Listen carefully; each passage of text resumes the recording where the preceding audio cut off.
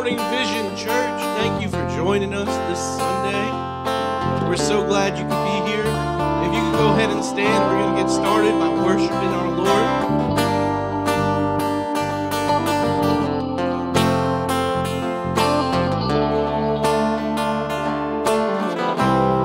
In the darkness all alone, growing comfortable.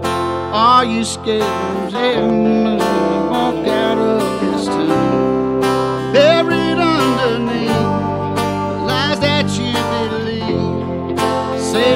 sound, stuck in the ground, too lost to be found. You're just asleep,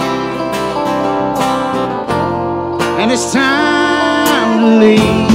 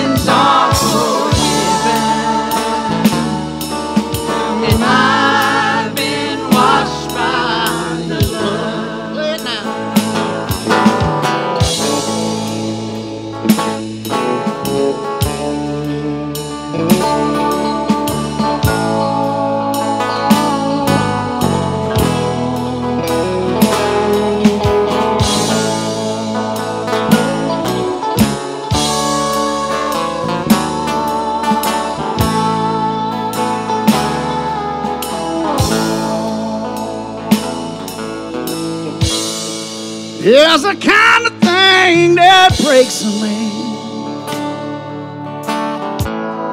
Breaks him down to his knees. Had I've been broken more than a time or two, but you've helped me be a man. Oh, oh, oh cause all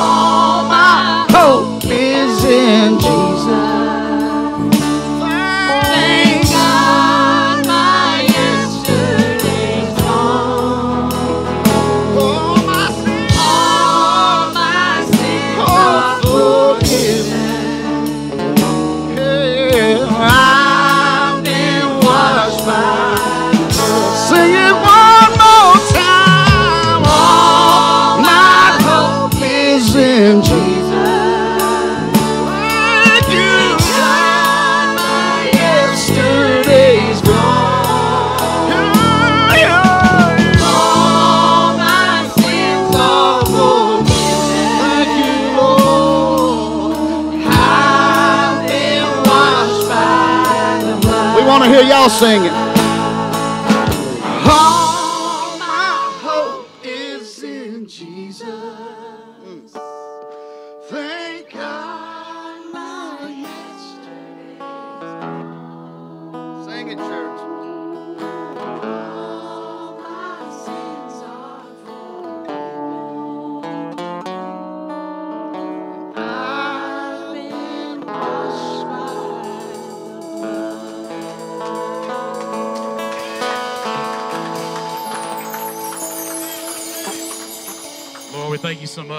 so far.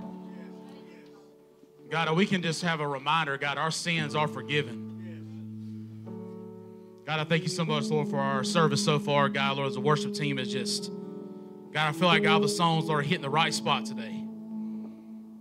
So, God, we just thank you so much, Lord, for what you're doing here. God, we thank you so much, God, for the weekend, God, that's kept us safe and brought us here to this point. God, we thank you so much, Lord, for the people watching online this morning, God.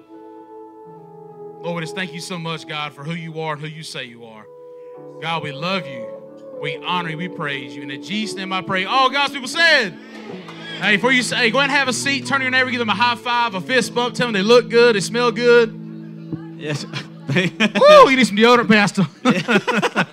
good morning to you. Look at somebody and say, Good morning. good morning. Good morning. Good morning. Thank you so much for coming to Vision Church today. Hey, stay on your side. we man. are sorry. We Stay are side. excited. we got the, the front row is very close today. You guys are in the spit zone later in the message, so I'm just pretty close. Uh, but hey, thank you guys for coming today. If you are here for the very first time, you are a very special guest today. Thank you for being here. We'd love for you to connect with us. You can scan this QR code right here. Also, there's various places around the church where you see that QR code as well. At the end of the service, uh, Jonathan and myself and Kevin, we'd love to meet you right over here in our Connect corner and say hey to you, have a free gift for you. And again, thank you so much for coming today. You could be anywhere, but you're at church this morning, so thank you. We really, really appreciate it. Yes, thank you so much. Hey, I will just let you know is we are going to be taking an offer the next few moments. So this is the regular offering, and today we're giving our vision offering today. Yes. So as the ushers going around, just know this is for your regular tithes and offerings. We will take up the vision offering later on. So hold that thousand dollar check in the back pocket and just hold it for just a little while longer. and we want to mention if you uh, don't normally come to Vision Church, you're going, why in the world are you taking two offerings? We've done this. This is only our second time in almost five years, so this is not typical. We've uh, over the last seven weeks, we've been praying and seeking the Lord and, and reserving things for this vision offering that helps with our location and building and different things like that. So again, this first offering that we're about to take is just our normal tithes and offerings. We'll do the vision offering later in the service. So anything you'd like to give for vision offering, please hold that to the end of the service. Pastor don't let me finish knowing now, so shame. I- I'm I- joking. I- I'm hey, I had to make No, sure. no, no, I saw some eyes like they take up two offers in this church. Just here. All right. I want to say one thing real quick before I forget. Kevin, where's where's Kevin? right here. Thank you. Sits in the same spot every Yeah, Sunday, there I you go. Ke- Last uh, this past weekend or the weekend we're in now, Friday and Saturday, Kevin and his team did a youth conference, and it was called Vision Conference right here at our church. It, it was really awesome. We have some students that were that were there at the conference. We were involved. There was a couple of different churches. It was awesome. last night I was here and this room was turned into uh, it was I don't even know really how to describe it. It was it started off and it was a great service and sermon and awesome, and then it kind of morphed into Soul Train a little bit. I'm not exactly sure, uh, but it was it was really great. I so I want to thank Kevin and his team for doing that. A really awesome event. I also. Also, want to thank Jonathan because typically we have Recovery Live on Friday night in house, and Jonathan, being the man of God that he is, is it was focused on the kingdom, and so he took what he did normally, put it online, so that Kevin and the students could have the campus on Friday night. So the kingdom working together. I appreciate both of you guys. All right, you got the rest of this. God bless you. Scooter out. All right. Oh yeah. All right. Cool. Uh, let me get in the center where I where I usually am. Scooter one. All right. Also let you know we also have Bible studies that happen every single Wednesday. So this coming Wednesday, bring for adults. We have something for you. We have something for the tots. Have something for the kids, and also for the youth. So come. We have no you have no excuses. Come on Wednesdays, and it's uh it's, it's just a, a great pick me up in the midweek that you come on Sunday and then you get Bible study on Wednesday. Come to Recovery Live on Friday, and then also get you church on Sunday as well. So I would love to see you. There's something going on all, all during the week. Also have the clothing ministry that's coming up on April the 20th. Uh, this is one of our outreach ministries of Vision Church. This is the heart and soul of Miss Teresa Young. And if you have any questions about our clothing ministry, want to get more info or want to serve in any capacity, you know some people that need some clothes, come see Miss Teresa. She's waving right now. She would love to connect with you. And uh, this is just her heart and part of our outreach ministry here at Vision Church. I'll let you know that we also have Men and Moms that is coming up on April the 27th. If you have experienced infant uh, loss or pregnancy loss, this is for you. Uh, this is a heart. This is the heart soul of my wife that that got birth from our miscarriage, and uh, and uh, just a beautiful thing about that is that our promise came. As you can see, we're holding our promise now. So if you are in that, if you are going through that right now, you experience uh, infant loss or pregnancy loss, this is for you. Come April the 27th. Uh, this is uh, another part of our outreach ministry here at Vision Church. And it just is a great support for you to get some uh, hope, healing, and freedom from that as well. All right, we're going to take up our offering this morning. Yes, thank y'all so much. Uh, as, uh, as our lead pastor, Scooter, said, um, Yes, okay, so uh, Mr. Percy Wan, he is our men's ministry leader here uh, for our vision group. Uh, he wants to let you know it's every first Saturday of the month. So every, if you are, a man, if you're a man, raise your hand. And oh, okay, I, oh, right here now, whoa, whoa, whoa, whoa, now that's some big. He said free breakfast, yeah. and Mr. Percy be cooking now. Yeah. Now, hey, and we ain't talking about just regular old bacon eggs. We talking about biscuits and gravy. We talking about sausage, ham, talk, huh? And he only does, he only does it here. His wife said he only does it here. But uh, yes, so every first Saturday of the month, our men's ministry will meet. Also, want to let you know uh, for uh, for the families that have kids, we have a mom and me room. As soon as you walk out this door, it's the first door on your right hand side. Uh, going to that's a mom and me room. We have the live stream going, and there's also a family room for you dads as well. You can go down this hallway. If you pass my office on the left, take that hallway to the left. It's the last room, the left hand side. That is a family room. If the kids get a little cranky and they're like, "I'm tired of hearing this preacher preach," you can go in there and go to our live stream and just have some uh, support in there. There's chairs. There's changing tables for you. So uh, let's go to the Lord. Let's pray together. God, uh, one of our old core values here when we were at Temple Wilson, now we're Vision Church, that excitement is contagious, Lord. I pray that we can continue this same excitement, Lord. That God, today is somebody's Sunday. Lord, this past Friday night and this past Saturday was a student's Friday and Saturday. As they experience, God, the conference, God, I pray that they experience the hope, healing, and freedom that only Jesus can give them. God, I pray, Lord, through the rest of the service today, God, that, Lord, the service will speak to somebody that, yes, we are taking up our regular offering, then taking up our vision offering. The vision offering is something we have prayed about and fasted for as families have already given their vision offering and done sales and uh, done all these things, or to get this money to give back to the kingdom. Lord, that we're not giving back to Vision Church. We're not giving back to Pastor Scooter or Pastor Jonathan or Pastor Kevin or any director that's here. No, God, we are giving back to your kingdom. Lord, we are being obedient, God, God, because Lord, obedience is our sacrifice. And Lord, we know this is a sacrifice, God. We are giving above and beyond more than what we usually do. But God, it says in your word, God, you will bless that 10 times more, Father. So, Lord, we know that we honor you, Father God. You're going to bless us. So, Lord, let's be with the rest of the service, God, Lord, as we are, God, just bowing at your feet, God, bowing at your altar, God, and bowing, Lord, just say, God, we surrender to you today. God, we love you, we honor you, and we praise you. And in Jesus' name I pray. All God's people said. Amen. All right, y'all check out this video.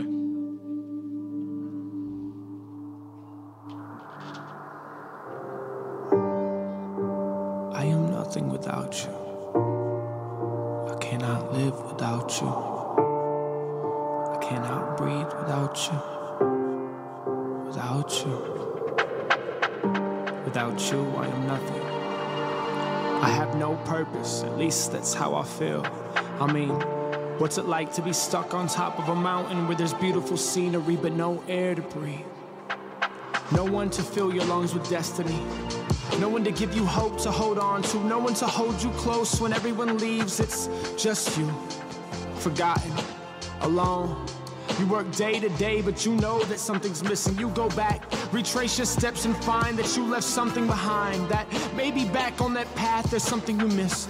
Someone who tried to call you, someone who tried to text, someone you just ignored.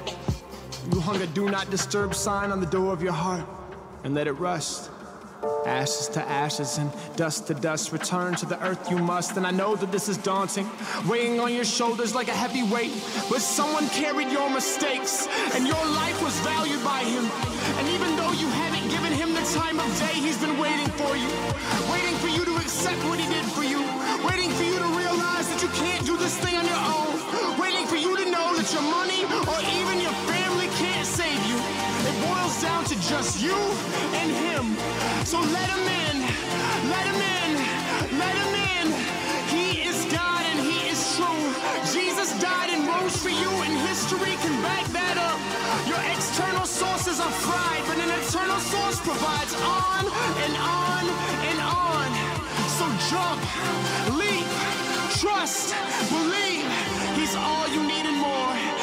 You leave behind is nothing, cause he has more in store. Oh God, I am nothing without you. I cannot live without you. I cannot breathe without you. Without you.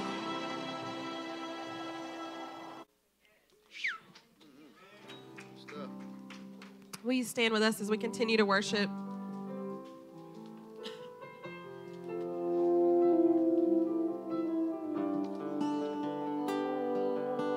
There's a sling in my voice and a stone in my praise, pushing back when the darkest weapons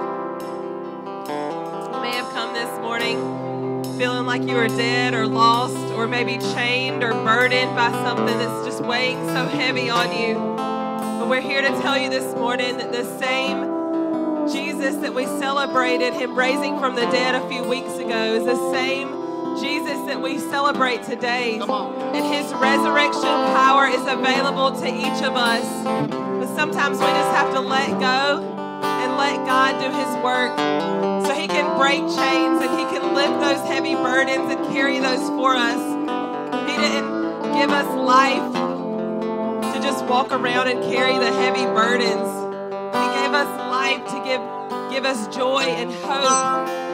So let's put that trust in God this morning that he can break those chains, that he can bring those dead things back to life through his power. Dead man, that come out of that grave and we sing. Captives, let go of those chains, let go of those chains when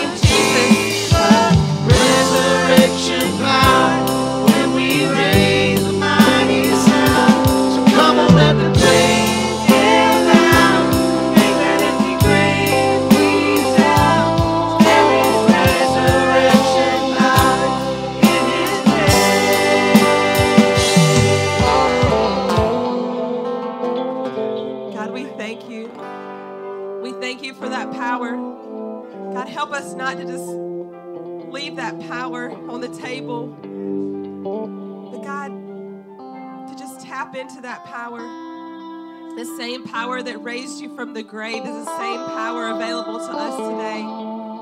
God, help us live like you are powerful, like you can change our circumstances. God, we know you can. We know you will. God, help us to release chains this morning. I pray as we sing this next song. God, whatever mountain we're facing right now, no matter, no matter how big or how small, whatever it is between our relationship with you, whether it be worry, anxiety, depression, God, just help us this morning to speak to that mountain because we know that you can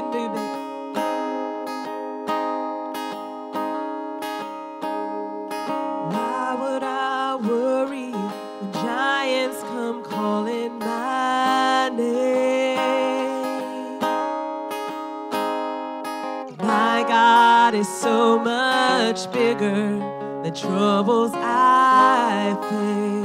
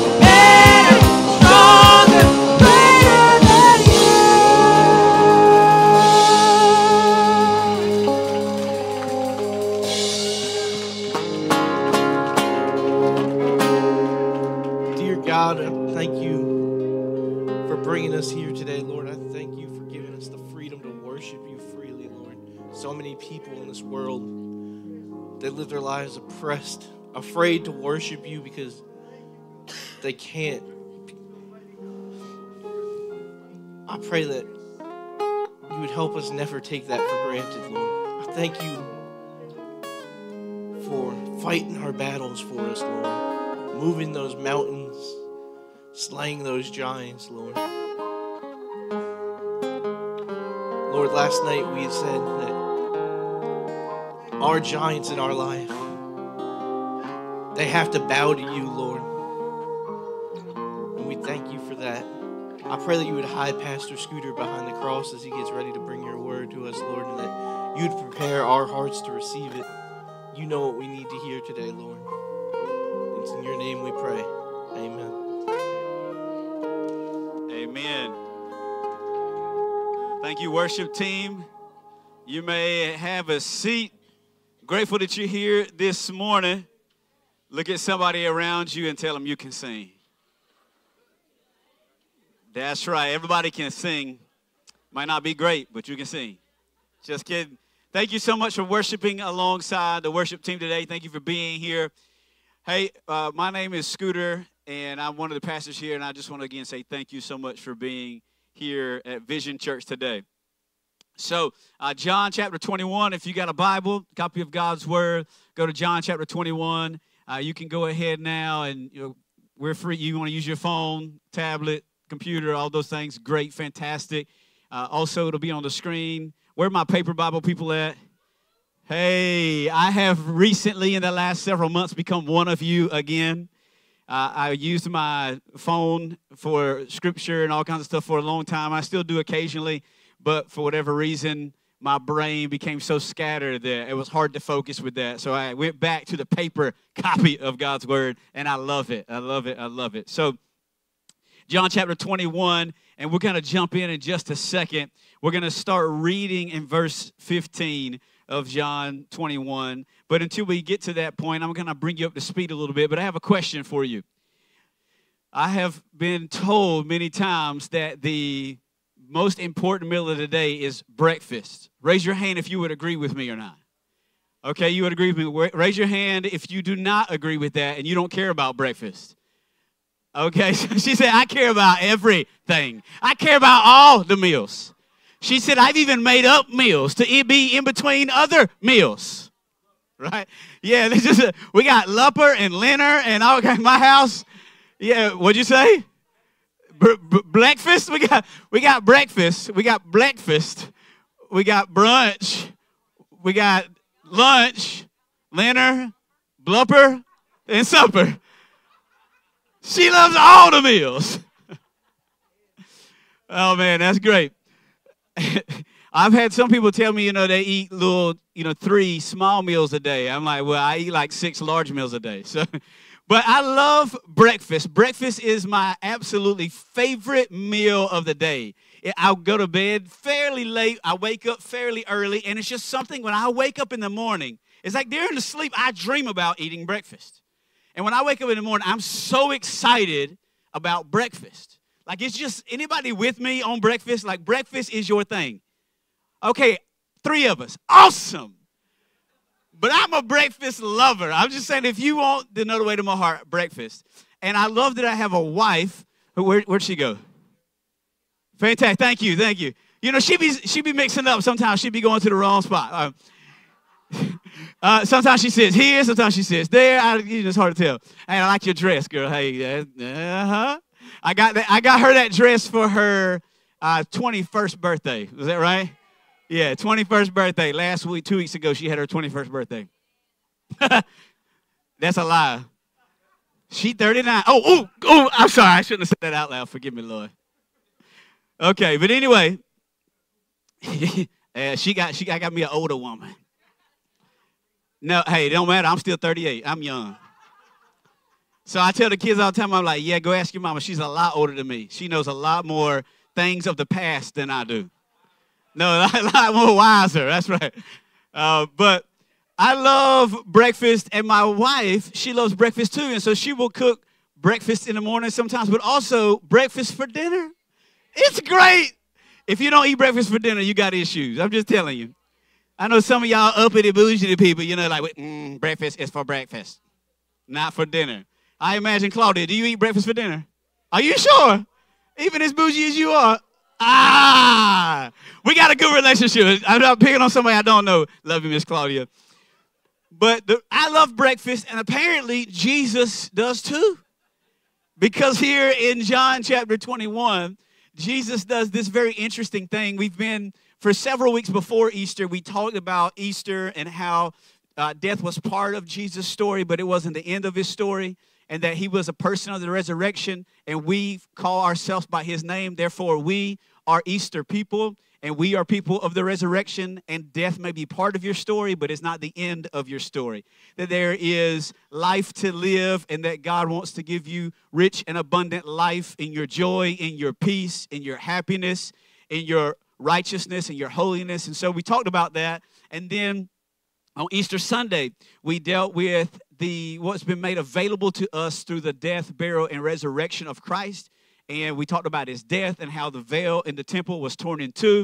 We discussed how that gave you access, free access to the presence of God and his holiness. There was no veil separating the Holy of Holies in the temple anymore.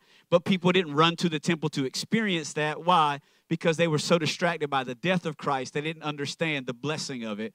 And so the resurrection opened their eyes to seeing the truth. So we talked about that. And then last week I had uh, four chairs up here, if you remember that. We had the chairs, and we talked about the beauty of the ministry of God's presence, like His availability and Him being available to us and sitting with us and resting with us. And we discussed four different, well, actually, I think I did six, but I only had four chairs.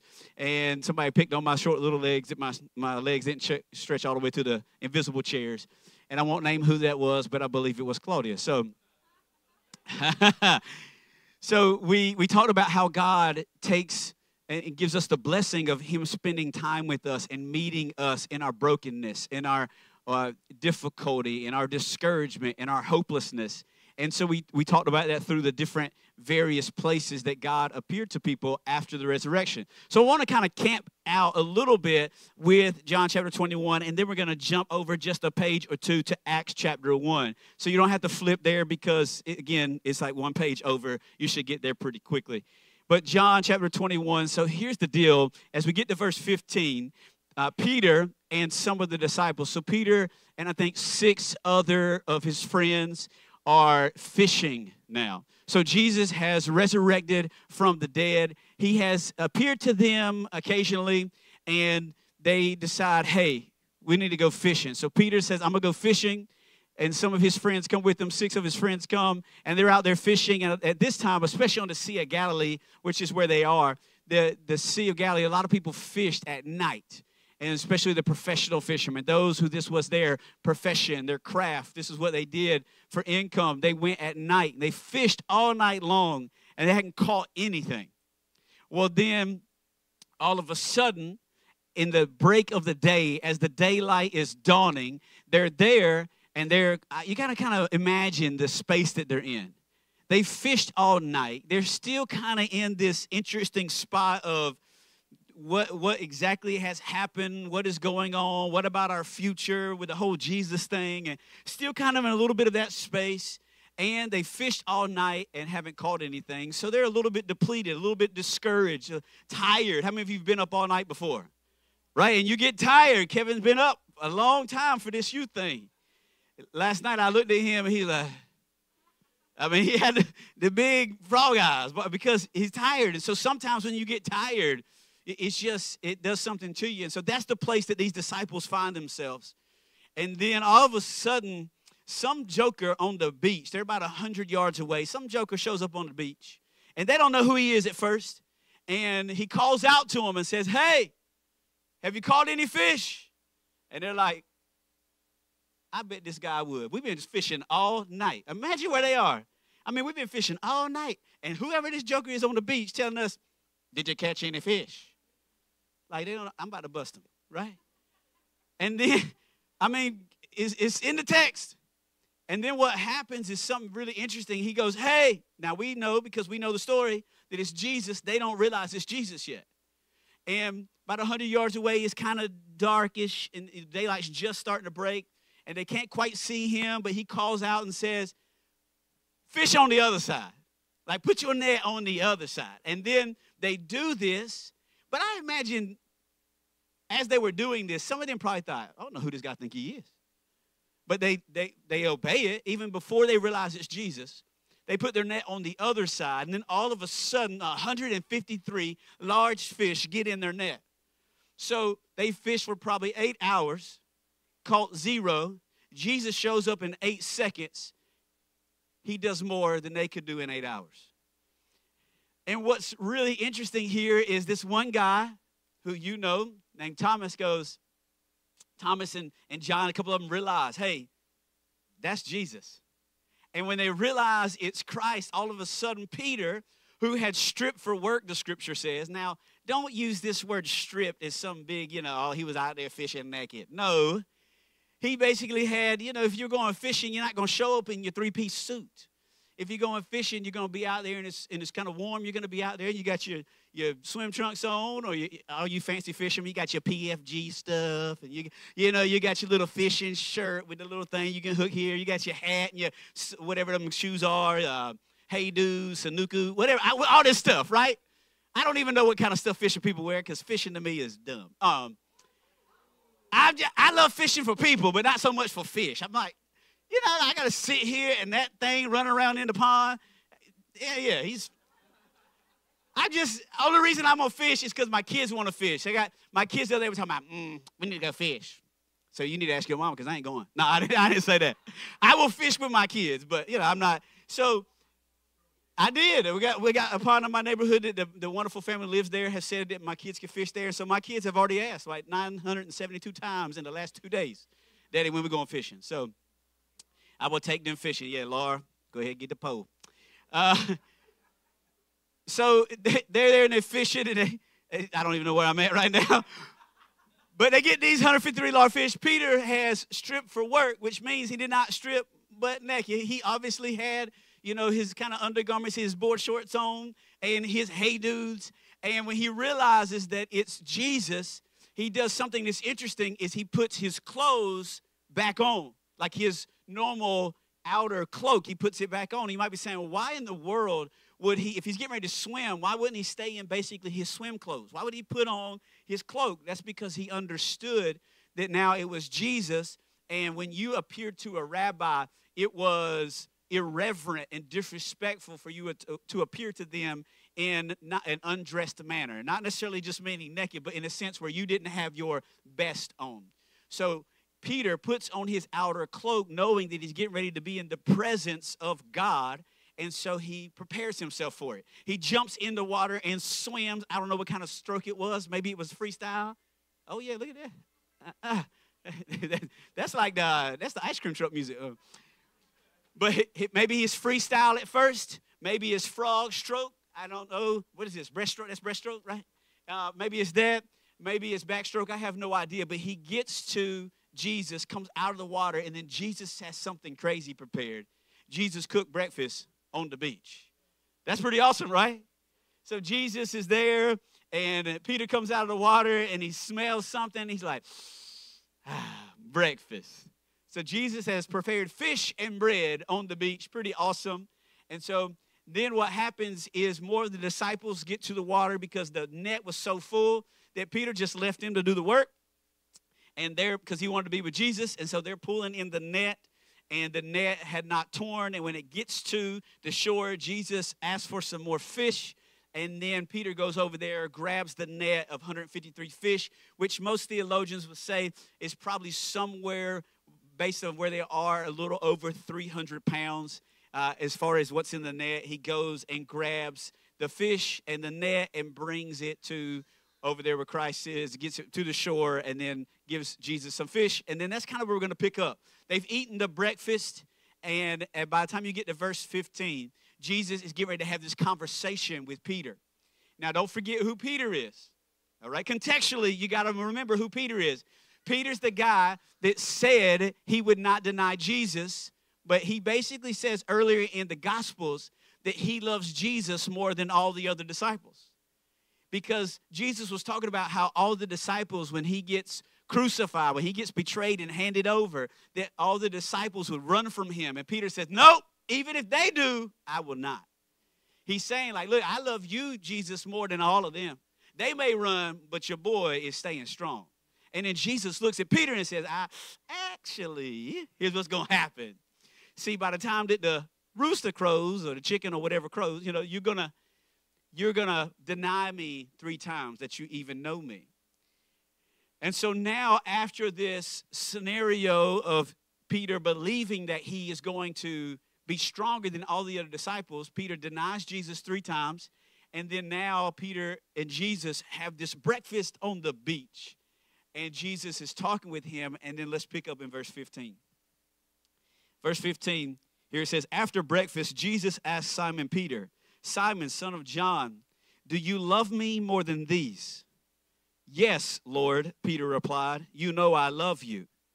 Now, that, that whole phrase there, do you love me more than these? In some, most historians and theologians believe that he is referencing, do you love me more than these? Asking Peter, do you love me more than these other disciples, these other people that are with you? Some theologians go the route of, do you love me more than like the boat and the net and the fish? Like, do you love me more than these tangible blessings in your life? Do you love me more than your car, your boat, your truck, your family, that kind of stuff? But most, the, the kind of general thought process is that Jesus is piggybacking off of the declaration that Peter made earlier in the Gospels that he, even if every disciple would betray him, that he would not. And he's going to u- piggyback off that in order to try to reconfirm or reaffirm Peter's character. So it's, Yes, Lord, Peter replied, You know I love you. Then feed my lambs, Jesus told him. Verse 16, Jesus repeated the question Simon, son of John, do you love me? Yes, Lord, Peter said, You know I love you. Then take care of my sheep, Jesus said. A third time he asked him, Simon, son of John, do you love me? Peter was hurt that Jesus asked a question a third time. He said, Lord, you know everything. You know that I love you. Jesus said, Then feed my sheep. And we'll get to verse 18 in just a second. Let's talk about why Jesus would ask this question three times. And we're going somewhere here. It's gonna, it's gonna connect at the end. But why would Jesus ask this question three times? Remember that Peter declared that no matter what anyone else did, that he would not deny the Lord. Everybody else could run, everybody else can hide, everybody else can get fearful, but Peter said he would not, that he would stay when everybody else left. But in fact, he did exactly what Jesus predicted he would do, and he denied him three times and ran away. So, this time of Jesus asking Peter three times, Do you love me? is, is very interesting when you pay attention to the language and the beauty of the way that Jesus is asking and the words at which he's using to ask the question. If you don't just look on the surface, but you take time to really focus on the individual words, you'll see what Jesus is doing here. Jesus is literally trying to take Peter's mind back to his false declaration that he would never deny him and bring it here in order to reaffirm and to rehab Peter's character, to restore Peter's purpose, and to restore Peter's apostleship or his leadership within the church that is about to start that Peter doesn't even know about yet. So, what's interesting is that Jesus uses the word, when Jesus says, Do you love me? He uses a word that we would understand as the word agape, which is an unconditional love. In the Greek language, this, this word is basically saying it's a love that has no limit. It is an unconditional, forgiving, gracious type of love. So he asked Peter, Do you love me? And he asked Peter basically, Do you agape me? Do you unconditionally love me? Are you willing to run through hell for the case of and cause of Christ?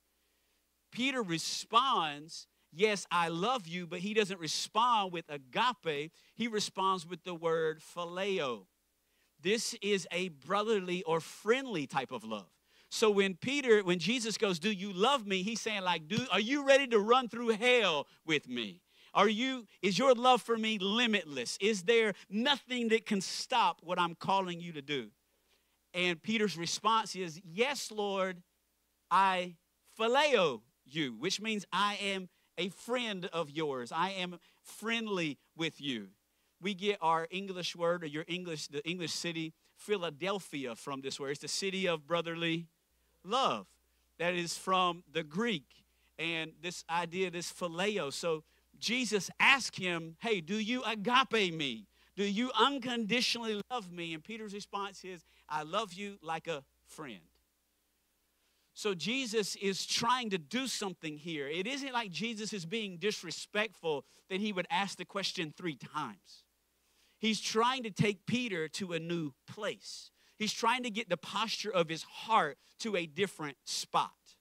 And sometimes we can feel like God is somehow disrespectful if he keeps bringing up something over and over. He keeps the same thing on your spirit, the same thing on your heart. He keeps you wake up in the morning, you're thinking about the same verse again. It isn't because Jesus has forgotten that he already showed you that. It's because he knows someplace you need to go and a posture of heart you need to get to, and he keeps the same thing in front of you so that he can take you there. So Jesus asked this question three times. Also, pay attention to the language. It says, Then feed my lambs a lamb is what? A young sheep. And then you got sheep. And then you got sheep again. And watch, it says, feed my lambs, then take care of my sheep, and then feed my sheep. We know scripturally and theologically that the people of God are symbolically referred to as sheep. And so he is getting somewhere here. He's trying to help Peter understand. Remember, Peter has denied Jesus three times. And now Jesus asked him this question three times. And Peter isn't really answering the question in the way that Jesus wants him to. And so he, he's asking again and again and again. And then all of a sudden, Peter kind of, woo, gets it because then at the end he says, Jesus said, then feed my sheep. Basically, take care of my people. He is, with that statement, feed my sheep, he is restoring. He's letting Peter know, hey, I understand what has happened. I understand that you denied me three different times. I know you said you wouldn't and you did. I know you said you was you would prosper but you failed, but guess what? I'm ready to restore your position. I'm ready to bring you back. You are an apostle. Feed my sheep. So Peter and Jesus are having this conversation. And then Jesus says something that's kind of like a mic drop. He says, I tell you the truth. When you were young, you were able to do as you liked. You dressed yourself and went wherever you wanted to go. But when you are old, you will stretch out your hands and others will dress you and take you, take you where you don't want to go. Jesus said this to let him know what kind of death would glorify God. Then Jesus told him, Follow me. Then Jesus told him, Follow me. Now, I love this next part because Jesus is so, so good, but also so, so gangster, okay? Uh, you, I mean, that's a Madu quote, but I'm telling you, this is like Jesus has this to be awesome and lovely and gracious, but also his tongue can be a little bit pointed at the same time. Uh, here it goes. It says, then so Jesus told him, "Follow me," because he's he's showing him what kind of death that he's going to have to die by crucifixion. He's going to have to die by being on a cross like Christ did. And uh, if you don't know, later there's a lot of historians and theological uh, people that would say that hey, when Peter Peter died on a cross, but when Peter was put to death, that he asked to be turned upside down because he didn't see himself as worthy to die in the same manner as Christ.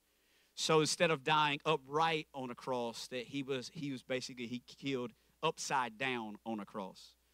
And look at this. So he, Jesus says, Jesus told him, Follow me. Peter turned around and saw behind them the disciple that Jesus loved, which is John. And if, if I'm writing a book, I'm going to go ahead and I'm going to let you know that's me too, right? If you're, writing, if you're writing a gospel and you're talking about your eyewitness account, of course, I'm going to refer to myself as the one that Jesus loved. I mean, like he loves you a little bit, but he loves me, right? So turns around and he sees the one that Jesus loved, John, the one who leaned over to Jesus during the supper and asked, Lord, who will betray you? Peter asked Jesus, What about him, Lord? And then this is where Jesus is a little gangster, Kevin. Jesus replied, If I want him to remain alive until I return, what is it to you? As for you, follow me. So now this story got good, okay? I'm a little bit of a biblical nerd. I love this kind of back and forth in the text. And so I get excited about it. You see my veins, they popping out. Woo! I'm about to have it. Okay. I, I, I love this story, man. It's awesome. So Jesus, death, burial, resurrection, comes back from the dead, appears to his disciples, appears to the brokenhearted. And I love this appearance that he shows up for breakfast on the beach and his goal here is not to just provide for them in a physical hunger, but he needs to restore or satisfy the spiritual hunger that has been stirred up inside of Peter based on his denial.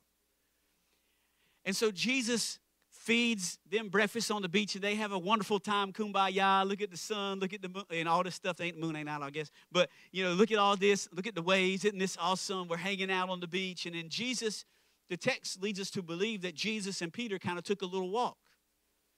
And they are stepped away from the crowd just a little bit. And then jesus knows all right this is my time to speak into the heart of peter and ask him do you love me it's my time to restore him. It's my time to reaffirm the calling on his life. Remember, there was an earlier conversation where, on the confession of Peter, that the Lord would build the church. So now, Jesus is reaffirming that. Jesus can't be a liar because it's not in his ability or his character to do so. So Jesus couldn't have said, Hey, Peter, upon your confession of faith, I will build the church, but then not speak into Peter's denial of the confession. So he now speaks to Peter three different times and asks him, Hey, do you agape me? Peter, I phileo you, homie. No, do you agape? And then Jesus goes, Hey, look, I need you to feed my sheep restoring Peter, saying, Hey, I know that you think because of your sin that your position in the kingdom of God has been wiped away, but I'm here today to let you know I'm restoring that position. I'm reaffirming you. I'm placing you back in the place that I told you you would be. Because your issues and your failure do not speak louder than the grace of God and His purpose for you. And so he speaks that over his life and then goes, Listen, I need you to follow me. This word follow in the Greek is a word called aklatheo. And this aklatheo is, it gets its, uh, the word is from the root word in Greek that means road. And so what he's telling him is listen, Peter, I know what you've done, but I need you to take heart because I'm restoring you, and now I want you to travel my road. I want you to follow me. I want you to get on the road with me. Now you got to think about the road that Jesus travels. It's the road of sacrifice. It's the road of heartache. It's the road of torture. It's the, wor- the road of persecution. It's the road of grace. It's the road of getting around uncomfortable people. It's the road of being mocked. It's the road of being ridiculed. But it's also the road of service. It's the road of humility. And so Jesus, in spite of what Peter has done, looks at Peter and says, Hey, as for you, I need you to follow me. I need you to aklatheo me. I need you to get on my road. And then Peter goes, because Jesus lets him know, like, my road for you means death. The invitation to follow Jesus was an invitation to die, but it was also an invitation to live. And so Jesus looks at him and says, Hey, follow me, and tells him he's gonna die. And then Peter's like, Yeah, about that. What about him? Is he going to die too? Because what I want to do is take just a moment and I want to talk about three different things that preoccupy our hearts from following God's road for our life. If you if you're tracking with this text, there are three things that you'll see in this text that preoccupy your heart and your mind from following the Lord. Because Jesus looks at Peter and says, "If he if I want to keep him around until I come back from heaven, What's it to you? As for you, follow me. The first thing, because the same invitation that he's giving Peter, he's giving us. He's looking at you and saying, Hey, Claudia, follow me. Follow me. Like, get on my road. He's saying, Tammy, follow me. Laura, follow me. Chris, follow me. Jesus did not just come from the peace of heaven to the hell of this earth to die for you and to rise from the dead. That's a piece of it. But he came to give you an invitation to live and an invitation to die, to die to yourself. He came to get you on his road. He came to look at you and said, Follow me, Follow me. Follow me. Be where I'm going to be. Do what I'm going to do. Speak like I'm going to speak. Think like I think. Get on my level. He's telling Peter that, and he's telling each one of us that. If you want some casual, soft hearted Christianity, that is not the message of Jesus. Jesus' invitation to you and I isn't go to church each week and feel good about yourself. No, it's an invitation to die. It's an invitation to take up your own cross, deny yourself, and follow Jesus. When you follow Christ, you are committing to Him that I'm willing to die for you. I'm willing for my pride to die. I'm willing for my jealousy to die. I'm willing for my greed to die. I'm willing for that, that attraction to lust. I'm willing for it to die. That is the invitation is follow me. Follow me. And three things typically preoccupy our hearts from truly following God's plan. The first one is comparison. You, you know that Jesus loves you. You know that Jesus came from heaven to earth to not just die for you, but to die as you that he literally took the past, present, and future sin and shame of every single one of us and let it be placed on his soul at one single moment and allowed that to take his life. The Roman soldiers didn't kill Jesus, your sin did.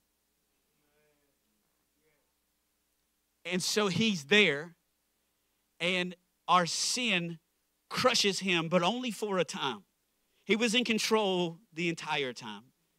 And then he dies, resurrects from the dead, and he tells you, Look, I got a plan for your life a plan to save you, but also a plan to send you. Because it wasn't enough for Jesus just to save Peter, he also wanted to send Peter. He wanted to send Peter out in Acts chapter 1, which we're going to get to. The goal here was hey, I know what you've done, but I know where I'm taking you. And Peter's first thing, his first thought after Jesus says, Follow me, is what about him? Isn't that what we do a lot? God gives us this plan. God's like, hey, I love you. I got a plan and a purpose for your life. And you don't understand it all yet, but listen, I got something for you. And we're ready. Okay, God, send me. But then what about him? Why are you blessing that church more than this church? Why does that person not live as holy as I do, but yet seems to have more than I do. What? Don't act like y'all super holy. I might be the only one messed up in the crowd, but I'm gonna be honest with you. I know Jesus saved me.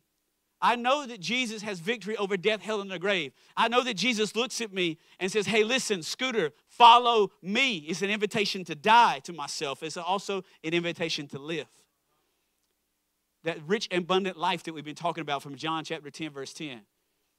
But sometimes when I feel like I'm trying to walk out and get on God's road and I'm trying to follow Him, something that preoccupies my mind is comparison. What about them? You're calling me to deny myself. Are you calling them to do it too? Well, why are they more blessed? Why are they less blessed? Why am I this? And you start looking, you start comparing. Be careful. Be careful because comparison is a trap that will stop you from walking the road that Jesus died to give you. Peter's response is, What about him? His mind wasn't on the path that Christ was calling him, his mind was on comparison. Were you going to kill him too, Jesus? Or just me? He's comparing stories. The road to travel for each one of us is similar, but also different. Some of us, He may bless more financially than others. Some of us, He may bless more in a joyful way than others. Some of us, He may give, He may bless you in a way where you can have a big, bigger family than others. At the end of the day, God knows the plan and purpose for your life. You can't get so preoccupied in your mind on why He's doing something in someone else's life and not doing it in yours. God didn't call Peter to walk John's road, he called Peter to walk his road. So we have to be careful that when we're following Christ that we don't become our hearts don't become preoccupied with comparison. The second is remember Peter's story. Peter's story is that he said, I'm to die with you, Jesus. If everybody else denies you, your boy will not. I am tough. I am strong. You know the stuff you teach your kids to say, right? I imagine he's over there repeating, I am brave. I am beautiful. I, well, probably not that, but you know, he's, over there and he's like coaching himself and he's not going to deny Jesus until all of a sudden some woman by the fire goes some girl goes, I think I know you. You're one of he. Oh, no, I don't know that man. I don't know him. When you think about times in your life when you knew that you were supposed to make a decision to honor God and you chose to make the opposite decision and you knew you were making it. Remember how heavy that is? He's made that decision not that long ago. That decision for Paul or for Peter to deny Jesus wasn't that long ago in the text, in the story. And so as he's thinking about the weight of the decision, when Jesus says, Follow me, it had to cross his mind his failures and his insecurities. So that's another thing that preoccupies our hearts sometimes and will stop us from walking God's calling or God's purpose for our life is one, comparison, the trap of comparison, and the, the trap of your past. And you can kind of clump this up into your failures, your insecurities, how many times has God said, "I need you to do this," or "I want to track you this way," and you've already in your you've in your mind you pulled a Saul, King Saul from the Old Testament, you pulled a Gideon from the Old Testament. You're like, wait a second, how, how can how uh you know Jesus? You don't know what you're talking about because uh, my family's the weakest and my family's this, and I'm I'm from the smallest clan, and I don't this, and I'm not that, and isn't that what we do? We let our past and our failures speak up and we let our hearts be preoccupied by where we haven't measured up, and we forget that Christ has measured up for us.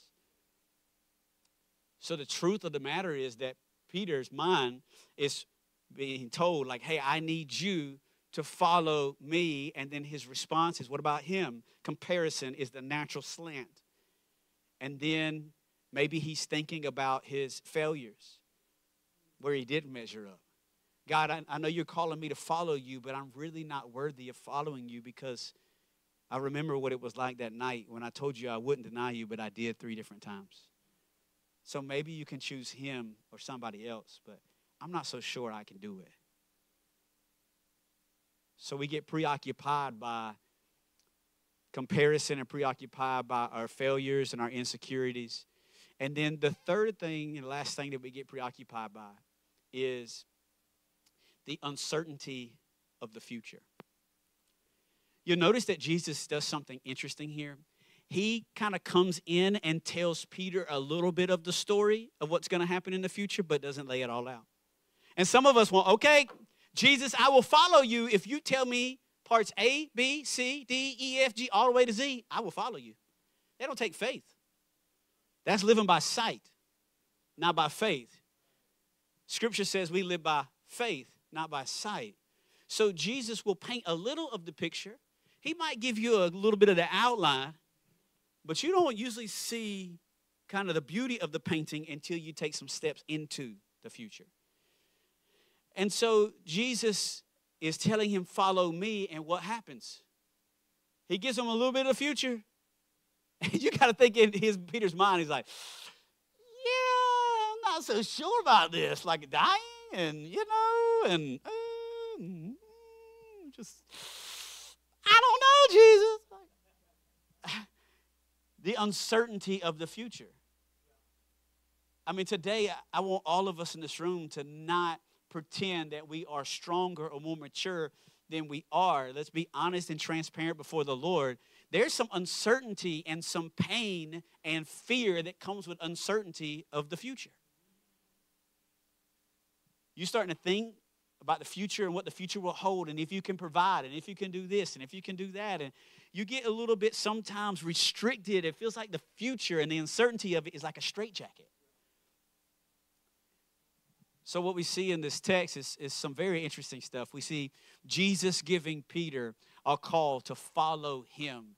Peter's mind is preoccupied by three things his mind is preoccupied by comparison, His mind is preoccupied by failures or insecurities, and his mind is preoccupied by the uncertainty or fear of the future. Isn't that so natural? Aren't you grateful that the Bible is relatable? Because y'all in this room, y'all look really, really good. I'm telling you, I see your dresses. I see you, you guys with your college shirts on. You guys look awesome today. You really do. You look so dapper and dandy and wonderful and pretty and all and beautiful. But listen, the, the, the text here is that inside there is a filth in every one of us that is preoccupied with comparison preoccupied with insecurities and our shame from our past, and preoccupied with the uncertainty and fear of the future that makes us feel as if somehow we can't actually follow Jesus in the way he's calling us to. If you want an invitation to follow something flimsy and half hearted, then just follow yourself. But if you want an invitation to follow a giant slayer, if you want an invitation to follow a holy God who is perfect, that creates galaxies from just words, that basically spits out Milky Ways, that can slay everything that you'll ever face. If you want an invitation to follow someone like that, then that is an invitation that Jesus looks at you and says, Hey, follow me. I know where you've been, I know what you've done, and I know what your mind is preoccupied with but your fear of the future doesn't undo what I'm calling you to do and where I'm calling you to go. Hey, I understand that I give you something and all of a sudden you're trying to compare what it is to somebody else. But that's not apples to apples because I've called you to walk a certain road that I haven't called them to walk. Today, every single one of us, Jesus is looking at you and say, Follow me. In the Christian church today, in the Americanized, soft little mushy Christian church. We got to get out of this idea that Jesus is just somebody that is good, that came to make us good. He didn't come to make you good, He came to make you alive and put you on a road of death and life. That is the invitation to follow Him. If your faith in Christ hasn't cost you anything, then you may not have real faith in Christ. If your faith in Jesus has never cost you a friend, it may not be a real faith. Or it might be that you've just pigeonholed yourself against around just Christian people and you've only trying to shine the light in the light. But for the light to shine the brightest, it needs to be in the dark. There is an invitation to follow Jesus, and it is not some little mamsy pamsy journey. It's an invitation to die and an invitation to live. Jesus looks at you today and says, Hey, do you love me? And our response is, Yeah, friend, I love you. And I think it's great that Scripture calls us a friend of God. But a friend shouldn't be all that you are. So, my question now as I get ready to close, which means what? Thank you. you see that countdown at the back? Yeah, they think I'm actually going to pay attention to that. Um, I got two minutes to finish preaching. So here we go. Don't look at that ever again. Don't turn around. Okay. I should have never put your attention on that. Jake, right? I should never say that, Jake.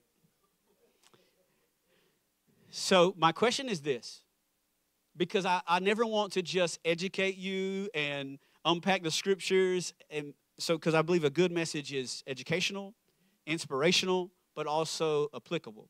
It's got to be something where you can take some handles and apply to our daily life. So right now, I think we've gotten to a place where we understood kind of the the knowledge of the text. We've educated ourselves. We know some of the original language. We know the context and where it is and what's going on. I believe that there's been some inspiration in the text. It's calling us, there's like, it's trying to wake up the lion inside of us to get us to rise up and live the road that God has called in spite of comparison, in spite of our fear of the, the future, in spite of our shame and insecurities and our failures. Right? God is saying, in spite of all that, I can restore you, just like He did with Peter. Hey, I know what you've done, but you feed my sheep. I'm restoring your apostleship. So He's doing the same today. He's restoring us, He's calling you to follow Him. Now, if you think about Peter, the Peter that you know from the New Testament, the book of Acts, is not necessarily the Peter you know from the Gospels. The Peter, you know, from the Gospels is a little bit kind of crazy and wild and just a little bit hard to predict and a little bit half there sometimes. He's just, eh, yeah, he got kind of crazy, kind of hot headed, cutting people, you know, ears off and just doing some crazy stuff. And the Peter you see in the book of Acts is very different. And so I believe that there was some things that Peter applied to his personal life that took him from this person in John 21 that was kind of overwhelmed or preoccupied with comparison, failure, insecurity, and fear of the, the future to this bold man of God that is at the point of taking the gospel to the rest of the world. What's the difference? So if we walk through Acts chapter 1, for time's sake, I won't read the whole chapter. I will read several several verses of it though.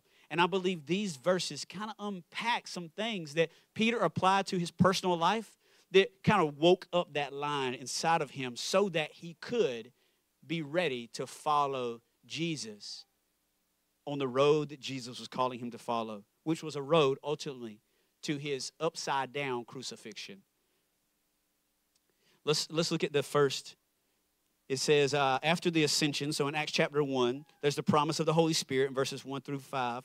Then in verses 6 through 11, there is the ascension of Christ, and the disciples are kind of there as Jesus ascends back into heaven and looks and is kind of trying to figure out, we're just trying to figure out what's going on. And then an angel appears and says, Look, he's going to heaven. You can't see him anymore right now, but he's going to come back. In verse 12, let's pick up there. Then the apostles returned to Jerusalem from the Mount of Olives, a distance of half a mile. When they arrived, they went upstairs to the room of the house where they were staying. Here are the names of those who were present Peter, John, James, Andrew, Philip, Thomas, oh, Bartholomew, Matthew, James, son of Alphaeus, Simon the Zealot, and Judas, son of James, because they don't want you to be confused. It ain't the other one, okay? That one has passed away. Verse 14 they all met together and were constantly united in prayer, along with Mary, the mother of Jesus, and several other women, and the brothers of Jesus. So let's just be honest here. Look at the text. If you're looking for some things that Peter and the disciples applied to their daily life that helped that line wake up on the inside, that gave them the courage to surrender and pick up their cross. The first one is it says they met, they all met together. They were together. Peter doesn't get this uh, reaffirmation from Christ and this restoration from Christ and then alienate himself or isolate himself from the rest of the group. It says they were together. If you're ever going to walk the path that God has for your life, a path to die, a path to deny your flesh, a path to say no to things you really want, but say yes to things you don't quite want yet that God is calling you to. If you're ever going to walk the road, follow Him. If you're ever going to aklathia, if you're ever going to follow the road of Christ, destined by Christ for your life, you can't do it alone. You have to be together.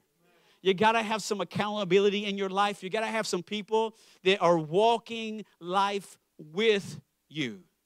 I love you. I am trying to be an encourager. It is one of our pillars right there. You can see on the banner that it, our goal is to encourage. And so, please, I want to say this as an encouragement. If the only time that we see you at this church is on Sunday, or the only time that anybody in this church ever hears from you is on Sunday, there needs to be a change. I know you got busy lives. I do too. I'm not telling you to be here every time the doors are open. I'm not even saying, hey, make it to another service other than Sunday. But there needs to be some people from the family of God that you are attached to, that you're together with, so they can support you and you can support them. You will fall flat on your face if you're trying to go this journey alone. They were together. Peter gets this calling on his life. It had to scare.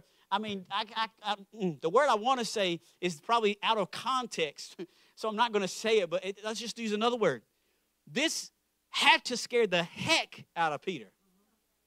Did it not? I mean, if unless he is just totally different than you and I, I mean, it had to scare the bejeebies out of him. Like, follow me. He know where Jesus went. He know Jesus dead hell in the grave. He know that Jesus had been spit on, ridiculed, laughed at, stabbed, and murdered. And then Jesus said, follow me. Akalatheo, like walk my road for you. If I'm Peter, I'm like, mm, anything else, Lord, please, anything. He said, follow me. It was an invitation to die and an invitation to live. And so Peter had to be afraid. He had to, these comparison and this, these different things that we've talked about had to be kind of rising up in his humanness. And I love that he didn't isolate by the weight of the calling on his life. He didn't go, I feel the weight of this call, and so I don't know how to handle the weight of it by myself, so I'm just going to be by myself. I don't know how, and he doesn't do that. He doesn't isolate and alienate. He gets with people. And it says they were together. If you're going to walk out the calling on your life, you must be together. Together. I love right after that. It says they were together and they were constantly united. It's one thing just to be together, it's another thing to be together in unity. To say, hey, you might vote a little different than me sometimes. You might dress a little bit different to me sometimes, but we're not going to overemphasize the minors and underemphasize the majors. The major is that you and I have both been called by the grace of Jesus Christ, and we are His people, and we can celebrate grace and also celebrate our differences at the same time. They was, there was a unity about them. Some of them used to be fishermen. Some of them used to be tax collectors. Some of them were saved out of one thing, and some of them were saved out of another thing. Some of them probably like this person, some of them like that person. Some of them like to wear that robe. Some of them thought that robe was dumb. They wanted this robe. But it didn't matter because they were together and they were unified. There was unity. And it says, united in prayer. So Peter made some decisions. One decision was together. I can't bear this weight alone. I can't walk this road by myself. I need to be together with people. But I also need to humble myself and walk this road in unity, celebrating the things that matter and not really overemphasizing the things that don't. Too many people in churches today make mountains out of molehills. And since they were united in prayer, Prayer is an invitation not just for you to talk to God, but also for God to talk to you. And I believe that Peter becomes a man that has a certain courageous spirit about him because not only was he together with unity, but he was surrendered and united in prayer.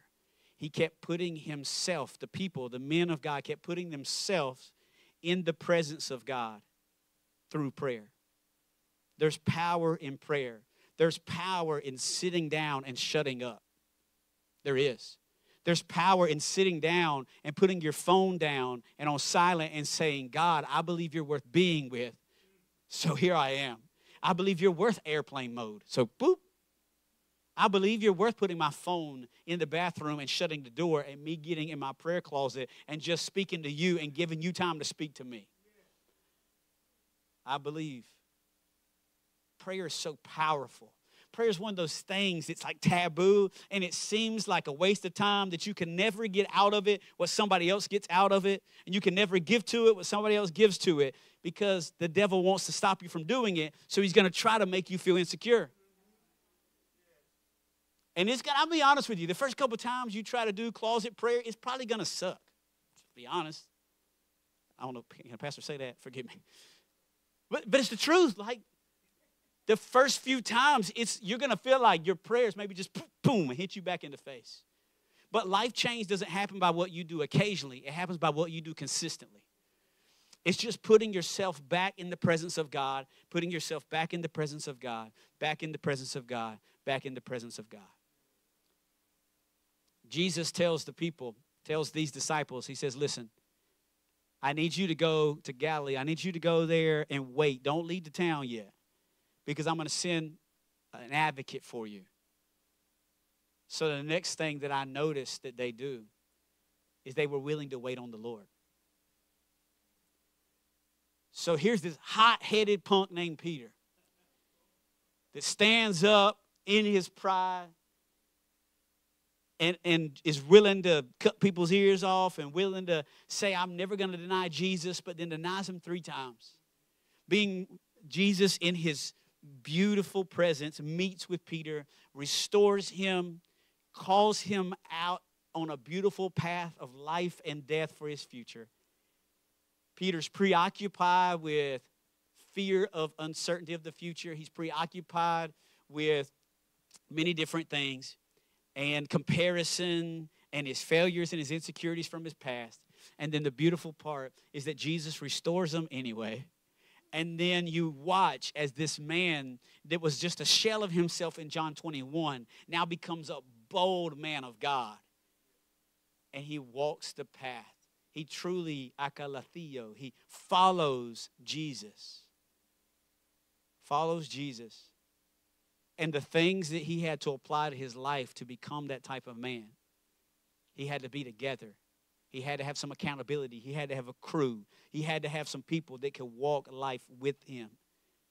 They couldn't be just connected by a row of chairs on a Sunday. They had to have hearts that were intermingled and connected Monday through Sunday.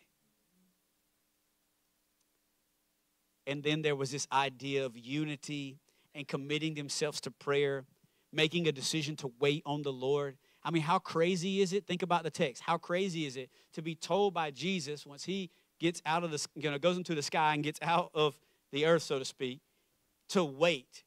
And you're thinking, what am I waiting on? I mean, I got stuff to do and places to go, and and he says, wait. And Peter was willing to do what Jesus said and wait on the Lord. Too many of us don't walk out the path that God has for our life because we're too forceful and we want to go ahead and solve everything now. And we want we don't want to wait on the Lord. We don't want to even wait on us, and so we just start forcing stuff. They were willing to wait on the Lord. Then, for time's sake, I got to really finish, but a couple things else in the text here that Peter does something. He brings up scripture from the Old Testament in the book of Psalms and he takes that scripture and says, Hey, this is true of what just happened. Judas was taken, and now we have to, the scripture tells us to get somebody to replace him. He's walking, he's viewing life through perspective of scripture, and he's willing to obey scripture. You see the text? Look at me. I understand that this is, is a lot of context and a lot of just different biblical things today. But please understand this. The call of Jesus on your life is never for you just to become a good person. The call of Jesus on your life isn't for you to live feeling good about yourself because somehow in, in a miracle, miraculous state, you've, you've got to escape the punishment of shame and hell. That's not just the call of Jesus on your life. Man, the call of Jesus on your life is an invitation to die.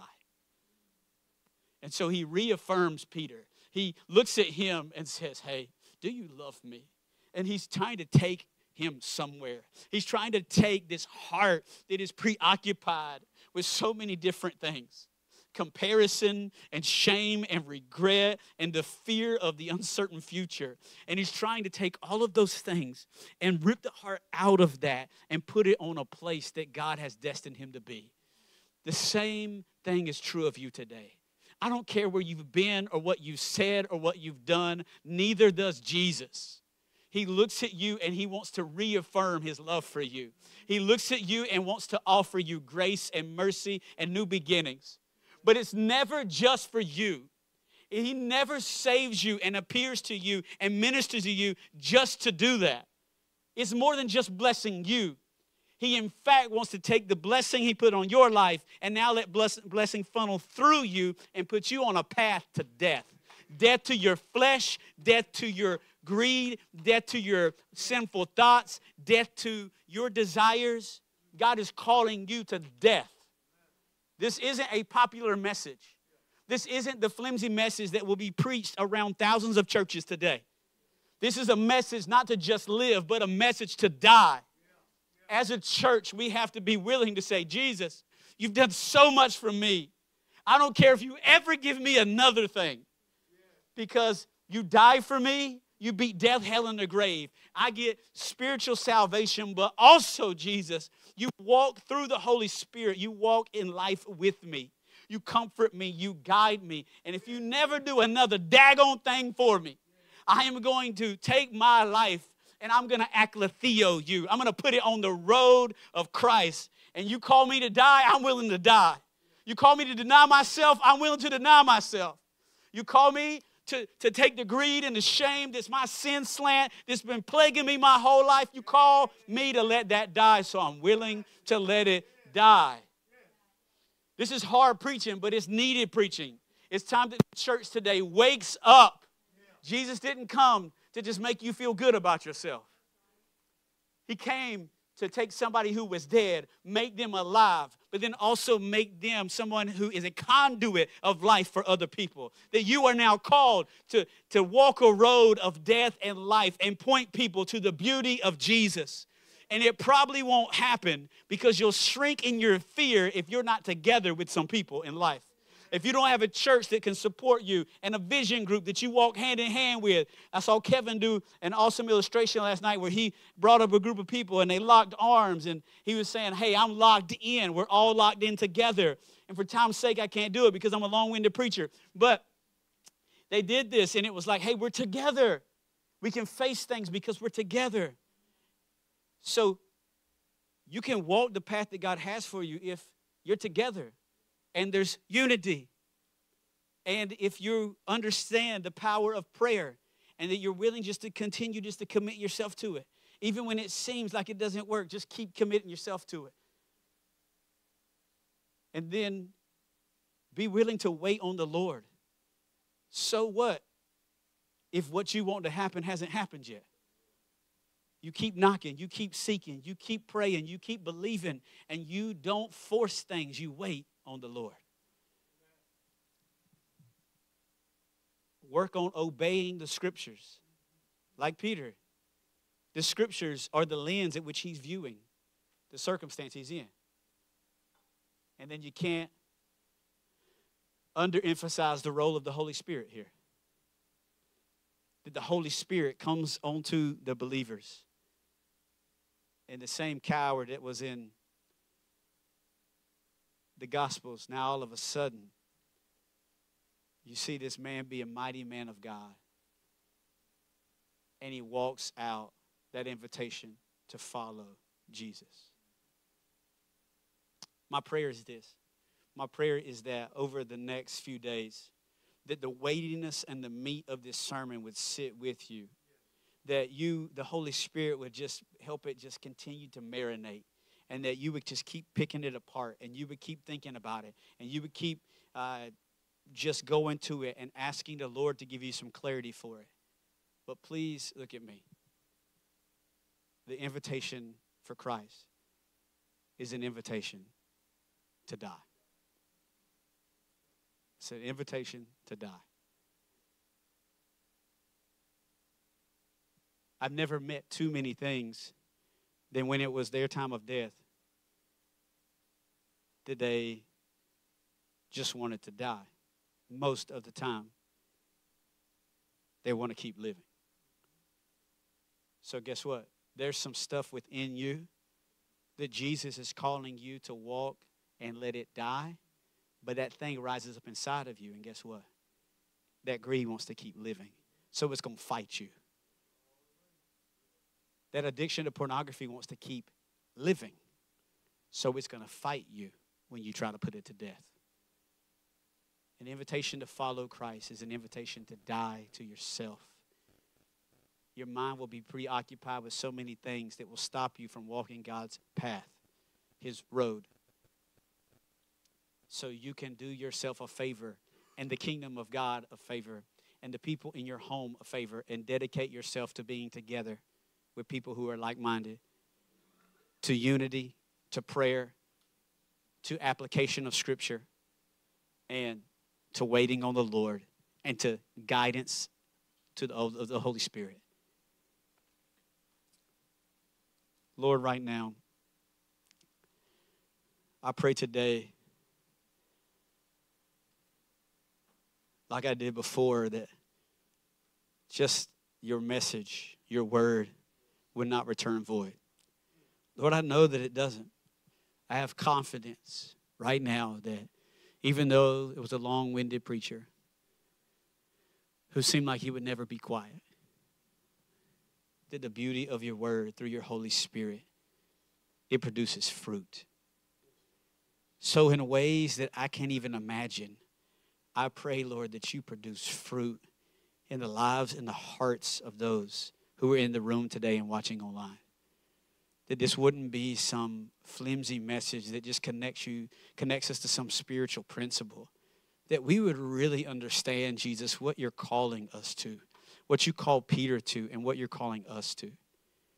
God, you're calling us to follow you, to follow you through hell, to follow you through difficulty, to follow you through insecurity, to follow you through being mocked and ridiculed, to follow you through dying. So, Lord, we look to you today. And I pray you minister to us. And how we apply this message into our life would be how we minister back to you.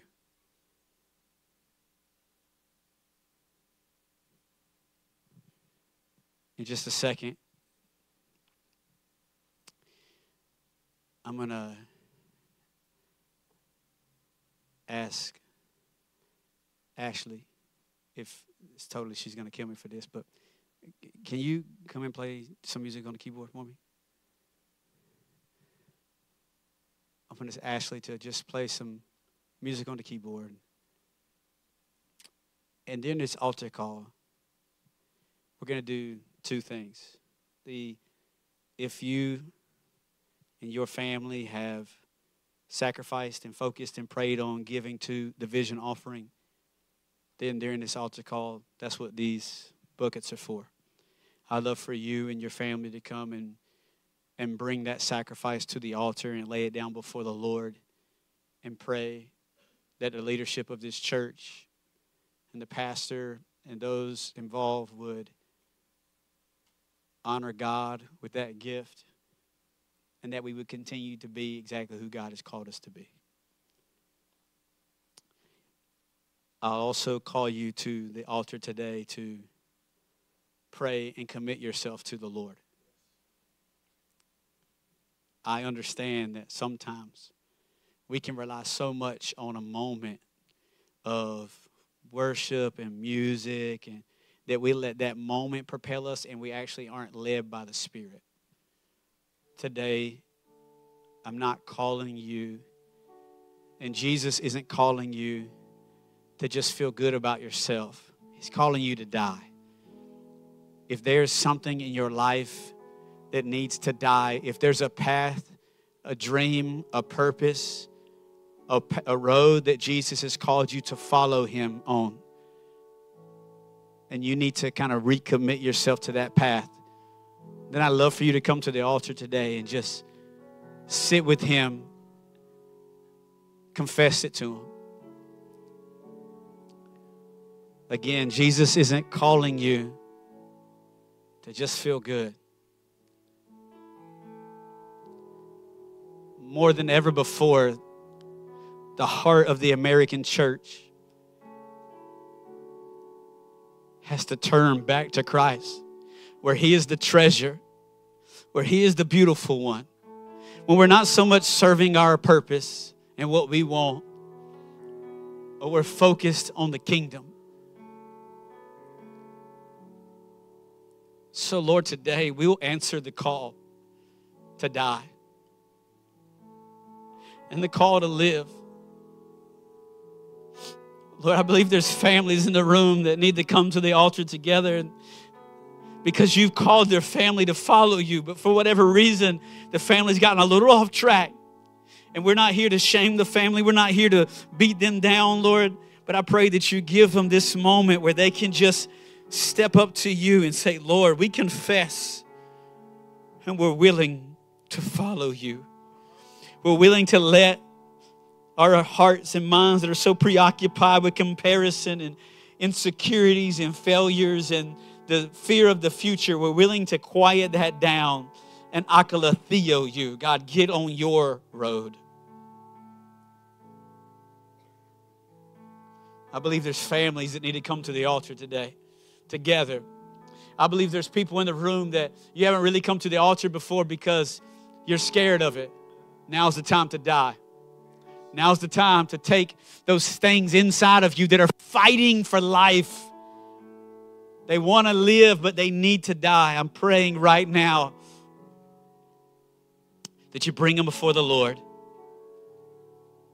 And He today can heal you, He can restore you. So, Lord, I pray that as we bring our offering to you for vision offering god that as we as this is a sacrifice because for this vision offering to take place some other things had to die. We had to say no to things to say yes to vision offering. So lord as we bring this to you today we are following your path. So lord we surrender and we give to you. And i pray lord you'll meet us at this altar as we lay ourselves down and we say god i'm willing to follow you.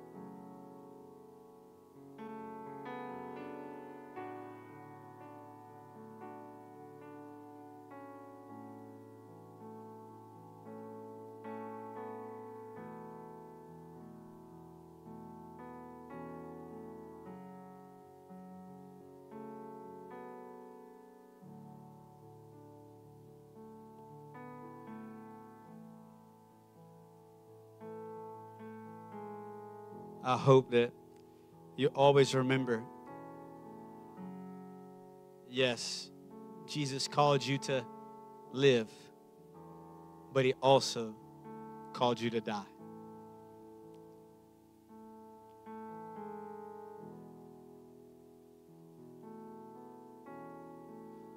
So, those who are getting ready to go to college, remember, there's going to be so many things that come your way. There's going to be so many things that want to preoccupy your heart and your mind. So many things that try to infiltrate what Kevin and the, and the leadership here have done to instill inside of you so many things that are right in front of you. The same way that God has a plan for you, the devil's got a plan for you. And he wants nothing more than to laugh in Christ's face and feel like he's won by getting your heart. But Jesus came to give you a rich and satisfying life, a life that is abundant. And so there will be things that preoccupy your heart, but the calling on your life isn't to live as the world. The calling on your life is to die to yourself and let the world see Christ through you. I believe in you. I'm here for you. I know you don't leave for some more months, but I just felt this on my spirit this morning that the call for all of us is a call to die. Your parents, your kids, your brother, your sister, your spouse, the thing that's going to make a difference in their life is a fully surrendered follower of Jesus that's willing to die with him. I thank you so much for your heart for the vision offering. The leadership of the church has had to, because I actually think very little of offering and giving and tithing and all that. I know it's biblical. I know it's on. I know it should be this huge focus, but I have a real like strong the kind of discipleship heart where I just want people to get closer to the Lord, and I know that giving is a part of that. So thank you so much for your sacrifice for the vision offering. I believe and confident that the Lord is going to use it to help plant and root us in the Lucama area. So thank you. We've already been asked a couple times if you can give to the vision offering after today. And the answer is yes. So, on your way out today, uh, well, actually, yeah, we just we'd love for you to fill this out. Uh, if you would like to, there again, no pressure. It's a pledge card. As we begin to make our way to the banks and financial institutions and stuff and on looking for loans and different stuff to secure property and stuff like that, you know, they they ask, just like if you were going to buy a house, they ask, like, what, what do you have to put down? They ask also, well, in a business sense, they say, in a 501c3 sense, they say, hey, do you, what do you have pledged for this cause? So that's what this is. It's a pledge card. You can fill out this part, fill out the big part. The end of it that is a different color is perforated. So you can just, want you to fill out that part too, but this is for you to take home with you. So you're gonna, you're gonna take this part home, and this is to remind you, it's for you to pray over, it's for you to think about, it's for you to put it somewhere so you see it, and then you keep praying for the vision offering. You keep praying that God would save souls. You keep praying that God would root us and plant us in Lucama. So this is for you, for your records, and for you to hold on to and pray over and keep. And then you give this part back to us. There's this real cool thing on it, and it says, my giving potential. Remember, our the vision offering is above and beyond what we usually give to the Lord. You guys are a faithful church. I thank you for your giving, but the vision offering is above and beyond that. If you typically give $100 a month to the church, then the vision offering, if you say, hey, I want to give $20 a month for the vision offering, that's on top of what you normally give. I just want you to know 100%. The people who are close to me on the leadership team know I am completely 100% uncomfortable talking about this. I hate it. I know that right now I'm trying to lean into God and be obedient, uh, but this is very uncomfortable for me. I'll preach to you for three hours about Christ and His goodness, but it's hard for me to stammer through five minutes on giving, like with this, to get you to. So, anyway, this giving potential is really cool because it just kind of walks out and say, look, if I decided to give $5 extra on top of what I normally give between now and the end of the year, I would have given $185 to the vision offering. That's pretty cool, right? To think about. We can think $5, we can think of $185 and be like, whew, that's a lot. But then when you think it's only $5 a week, so I encourage you to think about this and make a pledge if you feel the Lord leading you to. And as you do, ask you to honor that pledge. And then to remember that each time that you give your pledge, if you you can pledge on here weekly, every other week, monthly, or other, if you just want to do a one-time gift or whatever, it's totally up to you. But as you do this, make sure that you put it correctly. If you're going to give $120 and $20 for vision offering, then just put that on your envelope. Or put it, if you give online, make sure you put it there too. Just, hey, this is for tithes and offering, this is for vision. Okay? Lord, I thank you for your goodness. God, I thank you that you stepped up in Peter's life. When he had failed and done things he said he never do, you stepped up. You met him.